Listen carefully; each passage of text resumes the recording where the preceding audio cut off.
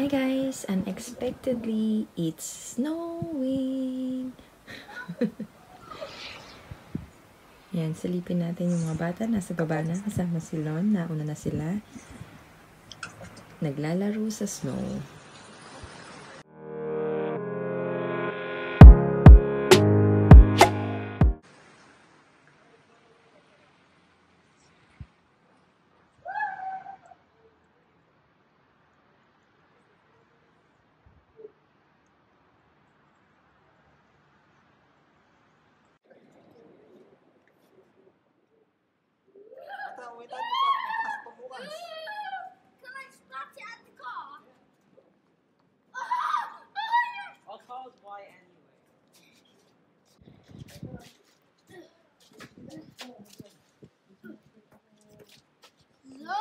Oh, it's already 9 o'clock in the evening. Ayaw nilang umuwi.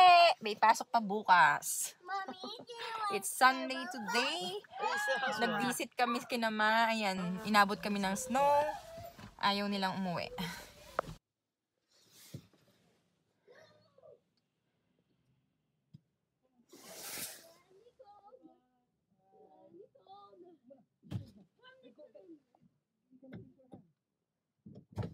Where's the snowball fighting?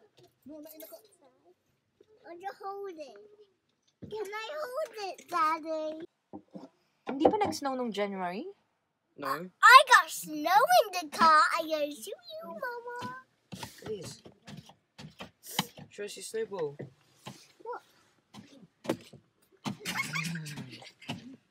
So nice and warm. Hmm.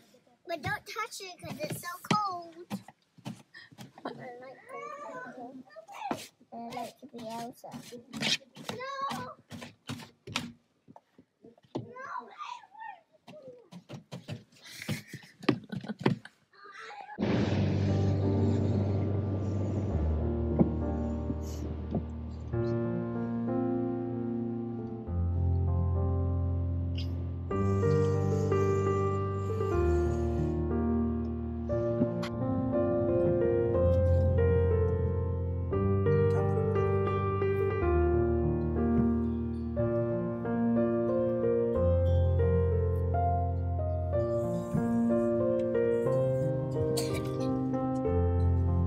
Malamig. Zero sa labas. Zero degrees.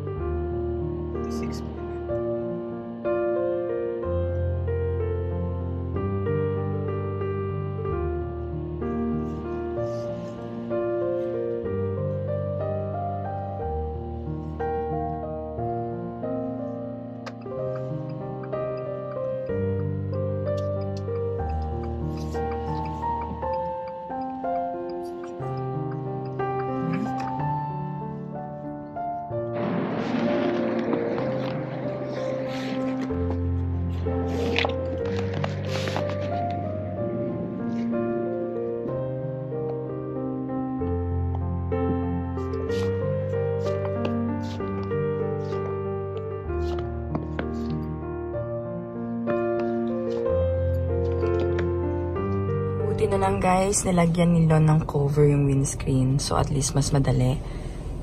Ganyan pala talaga nga yung shape ng snow. Look at that.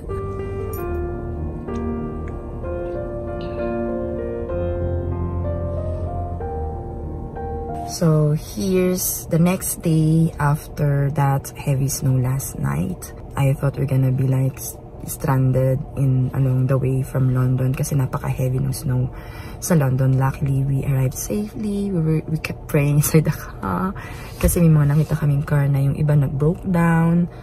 Nung palabas na kami ng A3, nag-less na yung heavy snow. So, sa London lang talaga ngayon nag-snow ng heavy.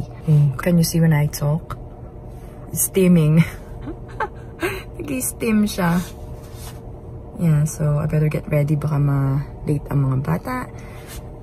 Yan, tatanggalin ko pa ang cover ng windscreen na nilagay ni Lorne. Uh, and it helped. It helped a lot na naglalagay ng cover sa windscreen. At least less pag-scrape ng ice sa car. So, see you guys in a bit.